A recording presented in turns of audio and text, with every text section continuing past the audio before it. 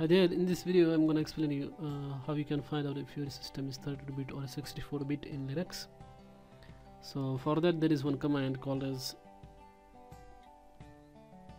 uname dash a and it will display uh, everything like Linux kernel information then your operating system name and after that it will also display the architecture that is i686 it means I'm running 32-bit so in your case it might be 64 bit as well.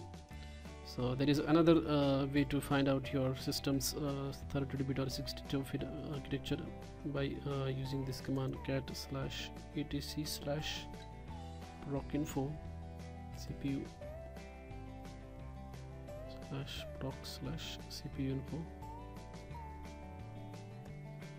And it will also display the your cpu architecture like processor information will be displayed over here. So that's how we can find out if it is a 32 bit or a 64 bit in linux. If you like this video hit like button